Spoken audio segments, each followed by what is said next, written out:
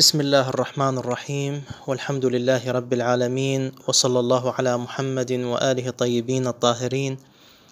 إخوتي أخواتي السلام عليكم ورحمة الله وبركاته. انتهينا في المحاضرة السابقة من موضوع الإضافة وتفصيلاتها. سنتناول اليوم موضوع أعمال المصدر. يعمل المصدر عمل الفعل في موضعين. الأول أن ينوب مناب الفعل نحو ضربا زيدا فزيدا مفعول به للمصدر ضربا. الثاني أن يكون المصدر مقدرا بأن والفعل. إذا أريد المضي أو الاستقبال.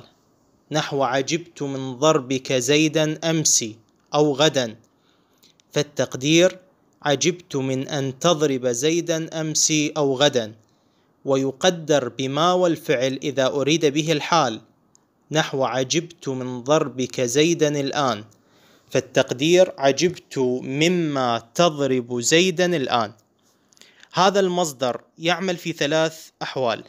إذا كان مضافا نحو عجبت من ضربك زيدا أو مجردا عن الإضافة وأل نحو عجبت من ضرب زيدا ومحلى بأل نحو عجبت من الضرب زيدا. طبعا إعمال المضاف أكثر من إعمال المجرد وإعمال المجرد أكثر من إعمال المحلى بأل ولديكم الشواهد بضرب بالسيوف رؤوس قوم وضعيف النكاية أعداءه فإنك والتأبين عروة بعدما فلم أنكل عن الضرب مسمعا وقوله تعالى أو إطعام في يوم ذي مسغبة يتيما ذا مقربة. هذا ما يتعلق بالمصدر. أما اسم المصدر فهو ما ساوى المصدر بالدلالة على معناه وخالفه بخلوه لفظا وتقديرا من بعض ما في فعله دون تعويض. هذا تعريف اسم المصدر. الفعل مثلا أعطى مصدره إعطاء واسم المصدر عطاء. وكذلك كلم مصدره تكليم واسم المصدر كلام. يعمل اسم المصدر عمل المصدر. كما في الشواهد أكفرا بعد رد الموت عني وبعد عطائك المئة الرتاعة. وفي الحديث من قبلة الرجل امرأته الوضوء. وإذا صح عون الخالق المرء لم يجد عسيرا من الآمال إلا ميسرا. وبعشرتك الكرام تعد منهم. واسم المصدر هذا عمله قليل. لاحظ اسم المصدر وليس المصدر. عمل اسم المصدر قليل. وفي قول ابن مالك وبعد جره الذي أضيف له كمل بنصب أو برفع عمله. يضاف المصدر إلى فاعله فينصب المفعول به. نحو عجبت من شرب زيد العسل. فزيد فاعل في المعنى والعسل مفعول به. عندما أضفنا المصدر شرب إلى الفاعل زيد بقي المفعول به منصوبا فقلنا من شرب زيد العسل أو يضاف إلى المفعول به ويرفع الفاعل. نحو عجبت من شرب العسل زيد. فأضفنا المصدر شرب إلى المفعول به في المعنى فبقي الفاعل زيد مرفوعا. ومنه قول الشاهد تنفي يداها الحصى في كل هاجرة نفي الدراهيم تنقاد الصياريف. فأضاف المصدر نفي إلى المفعول به الدراهيم ثم أتى بفاعله تنقاد مرفوعا. ويضاف المصدر أيضا إلى الظرف ثم يرفع الفاعل وينصب المفعول. نحو عجبت من ضرب اليوم زيد عمرا. فأضاف المصدر ضرب إلى ظرفه اليوم ثم رفع فاعلا زيد ونصب مفعولا عمرا. المضاف إليه في هذه الأحوال الثلاثة يكون مجرورا لفظا ويبقى محله على ما كان عليه قبل الإضافة. فإذا أضيف المصدر إلى الفاعل يكون هذا الفاعل مضافا إليه مجرورا لفظا. مرفوعا محلا على الفاعلية. وإذا أضيف المصدر إلى المفعول به يكون هذا المفعول به مضافا إليه مجرورا لفظا منصوبا محلا على المفعولية. فعندما أتي بصفة أو اسم معطوف وهذا تابع والتابع يتبع الموصوف فأستطيع أن أجعله مجرورا لاتباعه اللفظ يعني مراعاة للجر في الموصوف لأنه مضاف إليه مجرور لفظا. فأقول عجبت من شرب زيد الظريف. فالظريف مجروره لأنها صفة لزيد الذي هو مجرور لفظا. هذا مراعاة لللفظ. وأستطيع أن أراعي المحل فأقول عجبت من شرب زيد الظريف. قلت الظريف بالرفع لأن محل زيد هو الرفع على الفاعلية لأنه فاعل بالمعنى كما ذكرنا. ومنه قول الشاهد حتى تهجر في الرواح وهاجها طلب المعقب حقه المظلوم. فقال المظلوم في وصف المعقب مراعاة للمحل الذي هو الفاعلية وكذا الحال في المفعول به. فيجوز في تابعه مراعاة اللفظ أو المحل.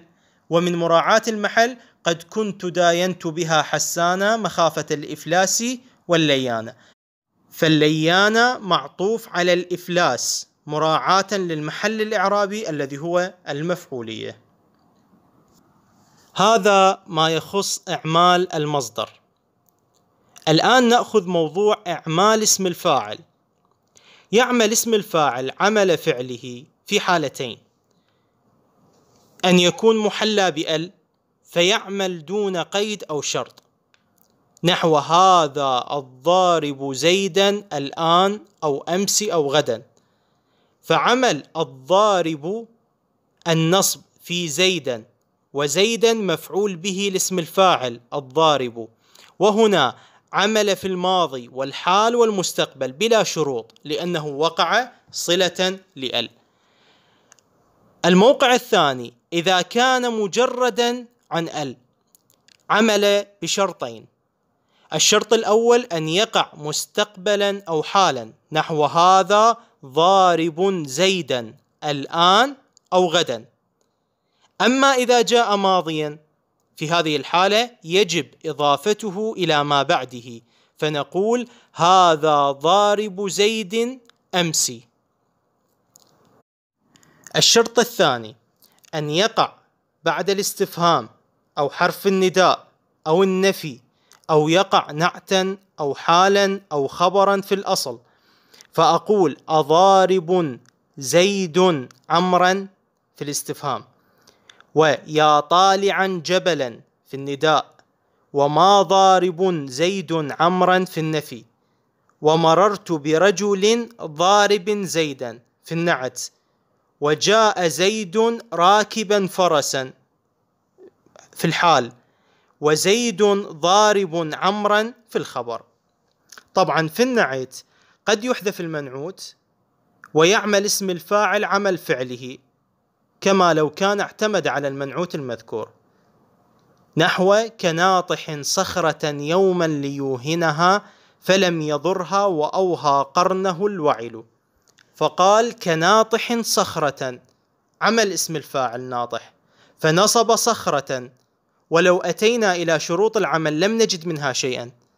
فتأولناه على أنه صفة أو نعت لموصوف محذوف تقدير الكلام كوعل ناطح صخرة. فهنا تحقق الشرط بأنه واقع نعتا. طبعا ما يصاغ للكثرة يحفظ مع الشواهد يعني الأوزان والشواهد. ننتقل الآن إلى تابع معمول اسم الفاعل المجرور بالإضافة. وحكمه الجر مراعاة لللفظ والنصب على إضمار فعل أو مراعاة لمحل المجرور. نقول هذا ضارب زيد وعمر أو وعمرا فالجر مراعاة لللفظ زيد مجرور وعمر أيضا يكون مجرورا لأنه اسم معطوف. أما النصب يعني هذا ضارب زيد وعمرا. هنا في هذه الحال أقول هو منصوب بفعل محذوف والتقدير ويضرب عمرا أو مراعاة لمحل المجرور زيد لأنه مفعول به في المعنى. ومنه الشاهد الواهب المئة الهجان وعبدها أو وعبدها. عبدها بالكسر مراعاة لللفظ وعبدها بالنصب على حذف الفعل أو مراعاة للمحل. وكذا هل أنت باعث دينار لحاجتنا أو عبد رب أخا عون بن مخراقي بنصب عبد على المحل أو بإضمار فعل؟ هذا كل ما يتعلق باسم الفاعل. وكل ما يتعلق باسم الفاعل من الشروط يثبت لاسم المفعول. فيعمل إذا كان محلى بأل دون قيد أو شرط وإذا جاء مجردا من أل عمل بشروط أن يقع مستقبلا أو حالا وأن يقع في الاستفهام أو النفي وكذا الاحتمالات الأخرى. نحو أمضروب الزيدان الآن الشيء المختلف في الإعراب. فحكم اسم المفعول في المعنى والعمل حكم الفعل المبني للمفعول. فالزيدان في المثال نائب فاعل لاسم المفعول. كما تقول ضرب الزيدان تقول أمضروب الزيدان. فالزيدان في الحالتين نائب فاعل. أقف إلى هنا.